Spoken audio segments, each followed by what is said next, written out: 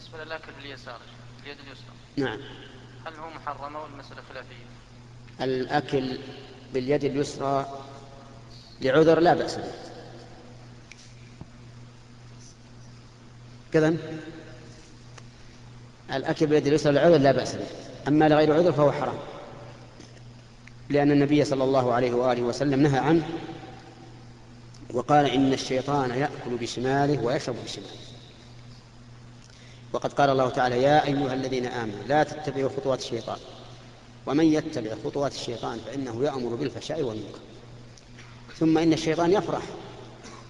يفرح إذا أكلت بيساره لأنك تكون متبعا له مخالفا للرسول عليه الصلاة والسلام. تصور المسألة ما هي إذا أكلت باليسار أو شربت باليسار فرح الشيطان. فرحا أكبر من كونه فعلا.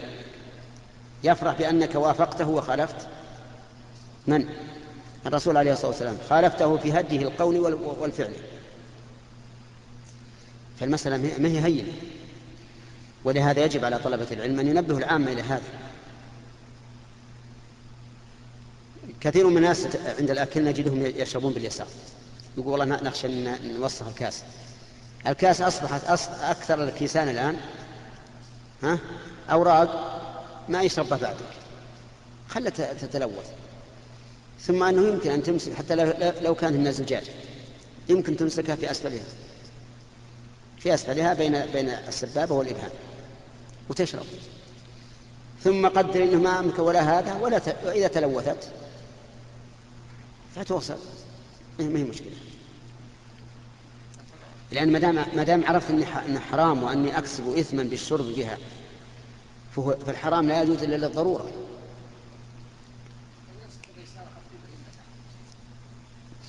إذا دعت الحاجة إلى ذلك لا بأس. إذا أمسك إذا وضعها على راحة اليمنى وأمسكها باليسرى انتهت الحاجة لكن أنا ما رأيتها تدعو الحاجة إلى هذا. أنا جربتها بنفسي. أمسك الكاس من أسفل ولا يتلوث إطلاقا. ثم إذا تلوث خلى المرة تبقى خمس دقائق يزيد عليه التغسيل الأمر سهل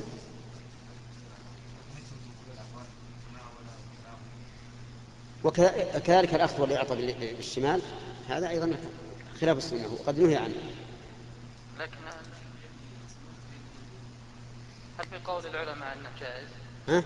هل في قول بعض العلماء جواز؟ بعض العلماء يرى الكراهة ولكن يا أخي أنا بنصحك أنت وغيرك إذا قال النبي صلى الله عليه وآله وسلم قولا لا تقول قال بعض العلماء.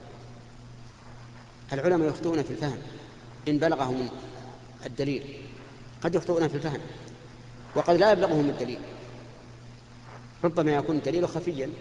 ألم يخفى على الصحابة كلهم حديث الطاعون؟ أما تعلم عنه؟ حديث الطاعون لما أقبل عمر على الشام قيل له إن الشام فيه طاعون. فوقف. وجعل يشاور الصحابة ويأتي بالمهاجرين والأنصار ويشاورهم على كلهم على حدة. وكلهم ما علموا بالحديث. لكن ولله الحمد وفقهم الله للصواب. أن أن يكون الرجوع دون القدوم. وكان عبد الرحمن بن عوف رضي الله عنه هو الذي روى الحديث لكنه في حاجة غائبا. فجاء فحدثهم بهذا. حدثهم بهذا الحديث. كل الصحابة أخفي عليهم الحديث مع العلم بأن بأنهم محصورون. كيف عاد بعد انتشار الأمة؟ فالعلماء ما لا ينبغي أن نعارض كلام الرسول عليه الصلاة والسلام بقوله هل في خلاف؟ ألم يقل بعض العلماء بكذا؟